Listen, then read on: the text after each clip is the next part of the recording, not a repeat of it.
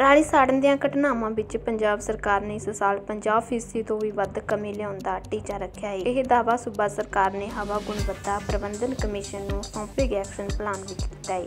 ਜ਼ਿਕਰਯੋਗ ਹੈ ਕਿ ਪੰਜਾਬ ਦੇ ਹਰਿਆਣਾ ਸਮੇਤ 6 ਸੂਬਿਆਂ ਦੇ ਵਿੱਚ ਝੋਨੇ ਦੀ ਫਸਲ ਤੋਂ ਬਾਅਦ ਉਸ ਦੀ ਰਹਿੰਦ ਖੂੰਹਦ ਨੂੰ ਖੇਤਾਂ ਵਿੱਚ ਹੀ ਸਾੜਨ ਦਾ ਰੁਝਾਨ ਹੈ। ਖਾਸ ਤੌਰ ਤੇ ਪੰਜਾਬ ਤੇ ਹਰਿਆਣਾ ਦੇ ਖੇਤਾਂ ਦੇ ਵਿੱਚ ਵੱਡੇ ਪੱਧਰ ਉੱਤੇ ਸਾੜੀ ਜਾਣ ਵਾਲੀ ਪਰਾਲੀ ਕਾਰਨ ਸਰਦੀ ਦੇ ਮੌਸਮ ਵਿੱਚ ਐਨਸੀਆਰ ਸਮੇਤ ਪੂਰੇ ਉੱਤਰ ਭਾਰਤ ਦੀ ਹਵਾ ਦਮ ਘੋਟੂ ਹੋ ਜਾਂਦੀ ਹੈ। ਇਸ ਲਈ ਪਰਾਲੀ ਸਾੜਨ ਤੋਂ ਰੋਕਣ ਲਈ ਪਹਿਲਾਂ ਤੋਂ ਹੀ ਯਤਨ ਨੇ ਜਿਹੜੇ ਸ਼ੁਰੂ ਕੀਤੇ ਜਾਂਦੇ ਹਨ।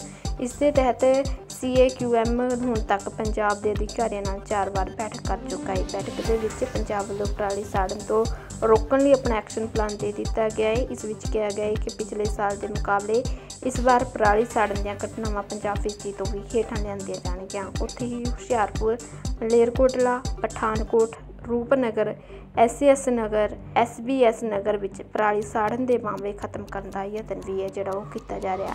ਤਾਂ ਸੂਬਾ ਸਰਕਾਰ ਦੇ ਵੱਲੋਂ ਦਾਅਵਾ ਕੀਤਾ ਗਿਆ ਹੈ ਕਿ ਇਸ ਸਾਲ ਪੰਜਾਬ ਦੇ ਵਿੱਚ 50% ਤੋਂ ਵੀ ਵੱਧ ਕਮੀ ਹੈ ਜਿਹੜੀ ਉਹ ਪਰਾਲੀ ਸਾੜਨ ਦੀਆਂ ਘਟਨਾਵਾਂ ਦੇ ਵਿੱਚ ਲਿਆਂਦੀ ਜਾਵੇਗੀ। Bureau report, Disha update news ਦੇ ਨਾਲ ਧੰਨਵਾਦ। ਪਰਾਲੀ ਸਾੜਨ ਦੀਆਂ ਘਟਨਾਵਾਂ ਵਿੱਚ ਪੰਜਾਬ ਸਰਕਾਰ ਨੇ ਇਸ ਸਾਲ 50% ਤੋਂ ਵੀ ਵੱਧ ਕਮੀ ਲਿਆਉਣ ਦਾ ਟੀਚਾ ਰੱਖਿਆ ਹੈ। ਇਹ ਦਾਅਵਾ ਸੂਬਾ ਸਰਕਾਰ ਨੇ ਹਵਾ ਗੁਣਵੱਤਾ ਪ੍ਰਬੰਧਨ ਕਮਿਸ਼ਨ ਨੂੰ ਸੌਂਪੇ ਗਏ ਐਕਸ਼ਨ ਪਲਾਨ ਵਿੱਚ ਕੀਤਾ ਹੈ ਜ਼ਿਕਰਯੋਗ ਹੈ ਕਿ ਪੰਜਾਬ ਦੇ ਹਰਿਆਣਾ ਸਮੇਤ 6 ਸੂਬਿਆਂ ਦੇ ਵਿੱਚ ਝੋਨੇ ਦੀ ਫਸਲ ਤੋਂ ਬਾਅਦ ਉਸ ਦੀ ਰਹਿੰਦ ਖੂੰਹਦ ਨੂੰ ਖੇਤਾਂ ਵਿੱਚ ਹੀ ਸਾੜਨ ਦਾ ਰੁਝਾਨ ਹੈ। ਖਾਸ ਤੌਰ ਤੇ ਪੰਜਾਬ ਤੇ ਹਰਿਆਣਾ ਦੇ ਖੇਤਾਂ ਦੇ ਵਿੱਚ ਵੱਡੇ ਪੱਧਰ ਉੱਤੇ ਸਾੜੀ ਜਾਣ ਵਾਲੀ ਪਰਾਲੀ ਕਾਰਨ ਸਰਦੀ ਦੇ ਮੌਸਮ ਵਿੱਚ ਐਨਸੀਆਰ ਸਮੇਤ ਪੂਰੇ ਉੱਤਰ ਭਾਰਤ ਦੀ ਹਵਾ ਦਮ ਘੋਟੂ ਹੋ ਜਾਂਦੀ ਹੈ। ਇਸ ਲਈ ਪਰਾਲੀ ਸਾੜਨ ਤੋਂ ਰੋਕਣ ਲਈ ਪਹਿਲਾਂ ਤੋਂ ਹੀ ਯਤਨ ਨੇ ਜਿਹੜੇ ਸ਼ੁਰੂ ਕੀਤੇ ਜਾਂਦੇ ਹਨ, ਇਸ ਦੇ ਤਹਿਤ ਸੀਏਕਿਊਐਮ ਹੁਣ ਤੱਕ ਪੰਜਾਬ ਦੇ ਅਧਿਕਾਰੀਆਂ ਨਾਲ ਚਾਰ ਵਾਰ ਬੈਠਕ ਕਰ ਚੁੱਕਾ ਹੈ। ਬੈਠਕ ਦੇ ਵਿੱਚ ਪੰਜਾਬ ਵੱਲੋਂ ਪਰਾਲੀ ਸਾੜਨ ਤੋਂ ਰੋਕਣ ਲਈ ਆਪਣਾ ਐਕਸ਼ਨ ਪਲਾਨ ਦੇ ਦਿੱਤਾ ਗਿਆ ਹੈ। ਇਸ ਵਿੱਚ ਕਿਹਾ ਗਿਆ ਹੈ ਕਿ ਪਿਛਲੇ ਸਾਲ ਦੇ ਮੁਕਾਬਲੇ ਇਸ ਵਾਰ ਪਰਾਲੀ ਸਾੜਨ ਦੀਆਂ ਘਟਨਾਵਾਂ 50% ਤੋਂ ਵੀ ਹੇਠਾਂ ਲਿਆਂਦੀਆਂ ਜਾਣਗੀਆਂ। ਉੱਥੇ ਹੀ ਹੁਸ਼ਿਆਰਪੁਰ,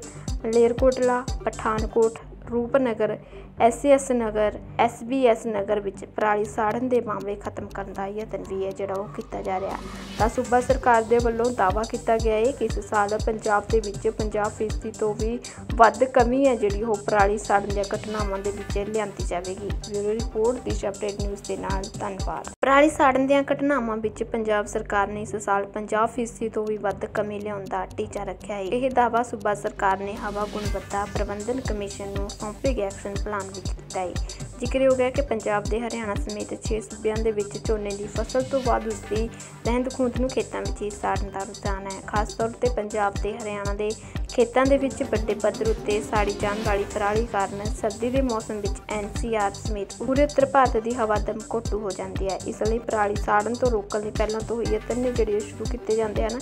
ਇਸ ਦੇ ਤਹਿਤ ਸੀਏਕਿਊਐਮ ਹੁਣ ਤੱਕ ਪੰਜਾਬ ਦੇ ਅਧਿਕਾਰੀਆਂ ਨਾਲ ਚਾਰ ਵਾਰ ਬੈਠਕ ਕਰ ਚੁੱਕਾ ਹੈ। ਬੈਠਕ ਦੇ ਵਿੱਚ ਪੰਜਾਬ ਵੱਲੋਂ ਪਰਾਲੀ ਸਾੜਨ ਤੋਂ ਰੋਕਣ ਲਈ ਆਪਣਾ ਐਕਸ਼ਨ ਪਲਾਨ ਦੇ ਦਿੱਤਾ ਗਿਆ ਹੈ। ਇਸ ਵਿੱਚ ਕਿਹਾ ਗਿਆ ਹੈ ਕਿ ਪਿਛਲੇ ਸਾਲ ਦੇ ਮੁਕਾਬਲੇ ਇਸ ਵਾਰ ਪਰਾਲੀ ਸਾੜਨ ਦੀਆਂ ਘਟਨਾਵਾਂ 50% ਤੋਂ ਵੀ ਹੇਠਾਂ ਲਿਆਂਦੀਆਂ ਜਾਣਗੀਆਂ। ਉੱਥੇ ਹੀ ਹੁਸ਼ਿਆਰਪੁਰ, ਮਲੇਰਕੋਟਲਾ, ਪਠਾਨਕੋਟ ਰੂਪਨਗਰ ਐਸਐਸ ਨਗਰ ਐਸਬੀਐਸ ਨਗਰ ਵਿੱਚ ਪਰਾਲੀ ਸਾੜਨ ਦੇ ਮਾਮਲੇ ਖਤਮ ਕਰਨ ਦਾ ਯਤਨ ਵੀ ਹੈ ਜਿਹੜਾ ਉਹ ਕੀਤਾ ਜਾ ਰਿਹਾ ਤਾਂ ਸੂਬਾ ਸਰਕਾਰ ਦੇ ਵੱਲੋਂ ਦਾਅਵਾ ਕੀਤਾ ਗਿਆ ਹੈ ਕਿ ਇਸ ਸਾਲ ਪੰਜਾਬ ਦੇ ਵਿੱਚ 50% ਤੋਂ ਵੀ ਵੱਧ ਕਮੀ ਹੈ ਜਿਹੜੀ ਉਹ ਪਰਾਲੀ ਸਾੜਨ ਦੀਆਂ ਘਟਨਾਵਾਂ ਦੇ ਵਿੱਚ ਲਿਆਂਦੀ ਜਾਵੇਗੀ। Bureau report Disha update news ਦੇ ਨਾਲ, ਧੰਨਵਾਦ।